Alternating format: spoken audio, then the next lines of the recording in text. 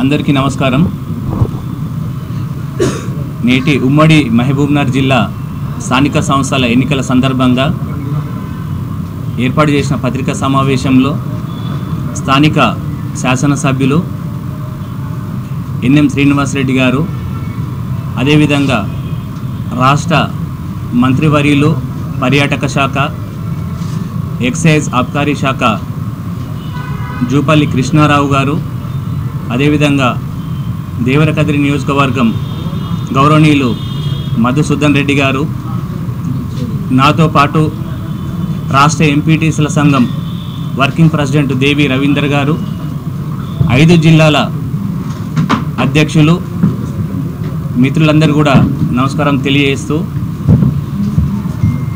ఉమ్మడి మహబూబ్నగర్ జిల్లా స్థానిక సంస్థల ఎన్నికల సందర్భంగా మేము గతంలో రాష్ట్ర ఎంపీటీసీల సంఘం పక్షాన గత పద్దెనిమిది సంవత్సరాలుగా స్థానిక సంస్థల బలోపేతానికై స్థానిక సంస్థల ప్రజాప్రతినిధుల ఆత్మ గౌరవ సమస్యల పరిష్కారానికై అనేక సందర్భాల్లో గతంలో ఉన్నటువంటి ప్రభుత్వాల దృష్టికి తీసుకొచ్చినప్పటికీ మా సమస్యలు పరిష్కరిస్తామని చెప్పి ఎన్నికల్లో హామీ ఇవ్వడం ఎన్నికల అనంతరం అది మర్చిపోవడం ఎక్కడేసిన గొంగడి అక్కడే ఉండి మరి గ్రామాలలో గ్రామాలలో ఎన్నికైనటువంటి మా గౌరవ సభ్యులు అనేక ఇబ్బందులు పడినటువంటి సందర్భం.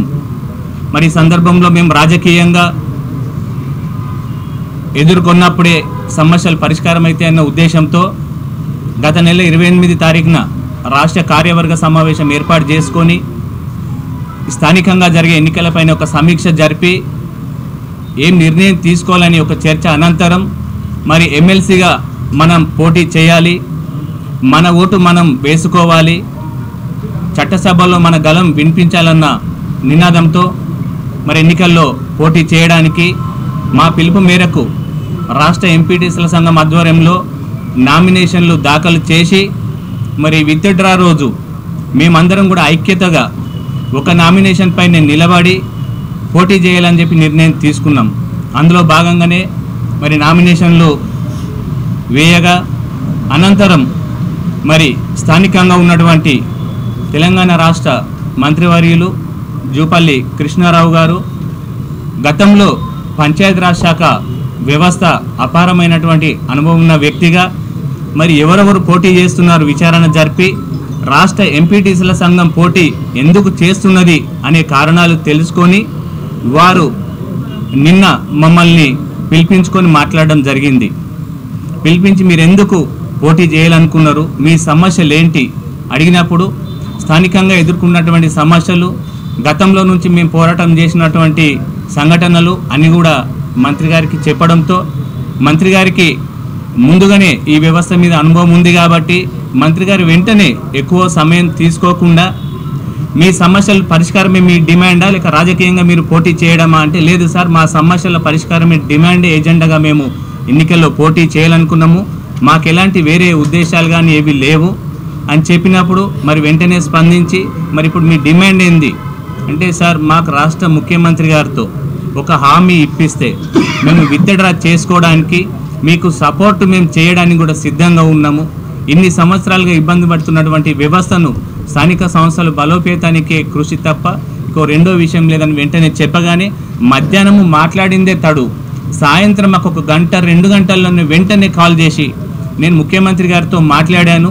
ముఖ్యమంత్రి గారు సానుకూలంగా స్పందించారు. రేపు విద్యుడాల అనంతరం సాయంత్రం ముఖ్యమంత్రి గారితో మనం కలిసి మిమ్మల్ని కూడా కల్పిస్తామని చెప్పి మాట ఇవ్వడంతో మాకు చాలా సంతోషం అనిపించింది.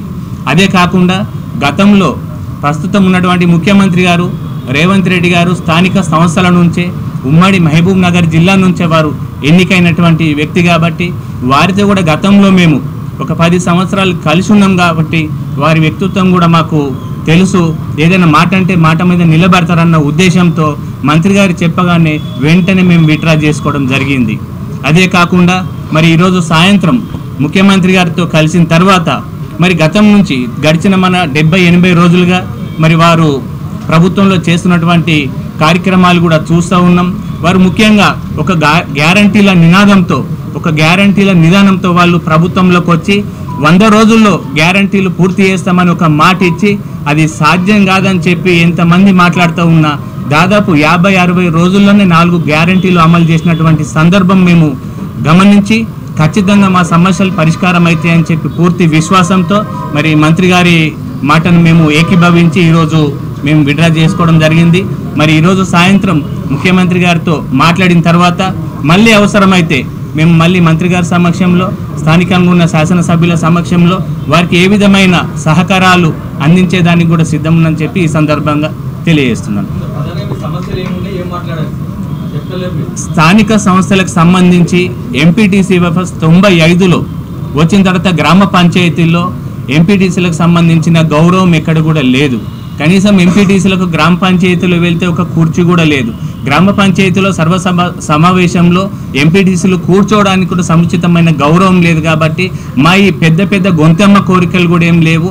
మన తెలంగాణ రాష్ట్రంలో ఆత్మ గౌరవానికి మించిన సమస్య వేరే లేదు కాబట్టి ఖచ్చితంగా ఆత్మ గౌరవానికి సంబంధించిన సమస్యలే ఎక్కువ ఉన్నాయి. ఆర్థికంగా సంబంధించిన సమస్య ఒక్కటే మాత్రం ఉంది. సంవత్సరానికి ప్రతి ఎంపీటీసీకి ఇరవై లక్షల నిధులు కేటాయించినట్లయితే వాళ్ళు ఎన్నికల్లో ఇచ్చినటువంటి మాటను నిలబెట్టుకోవడానికి గ్రామంలో ఉన్నటువంటి మౌలిక సదుపాయాలు అది మోరీలు కానీ డ్రైనేజీలు కానీ వీధి దీపాలు కానీ ఇతర మంజీర వాటర్ సమస్యలను ఏదైనా కూడా చేసుకునే దానికి అవకాశం ఉంటుందని చెప్పి కూడా ఈ నిధులకు సంబంధించి ఒక అంశం తప్ప మిగతా అంశాలన్నీ కూడా ఒక ఆత్మ గౌరవానికి సంబంధించిన అంశాలే ఉన్నాయి కాబట్టి మేము మంత్రి గారితో మాట్లాడిన తర్వాత మంత్రి గారు ముఖ్యమంత్రితో మాట్లాడిన తర్వాత మాకు పూర్తిగా విశ్వాసం ఉంది నమ్మకం ఉంది కాబట్టే మేము విత్డ్రా చేసుకోవడం జరిగింది. మరి సాయంత్రం ముఖ్యమంత్రి గారితో కలిసిన తర్వాత తదుపరి కార్యాచరణ ఏంది అనేది మళ్ళీ మేము మీ ముందు కూడా పెడతాం. థ్యాంక్ యూ మేము కాంగ్రెస్ ప్రభుత్వం ఈరోజు ఒకటి అన్న కాంగ్రెస్ ప్రభుత్వం ఉన్నది. ఆ ప్రభుత్వమే మా సమస్యలు పరిష్కారం చేయాలి. ఈరోజు మంత్రి గారి ఆధ్వర్యంలో శాసనసభ్యుల ఆధ్వర్యంలో ముఖ్యమంత్రి గారి ఆధ్వర్యంలో మా సమస్యలు పరిష్కారం అవుతున్నప్పుడు తప్పకుండా వాళ్ళు చెప్పినటువంటి ఆదేశాలకు మా వంతు ఉడతా భక్తిగా సహాయం చేయడానికి కూడా సిద్ధంగా ఉంటాం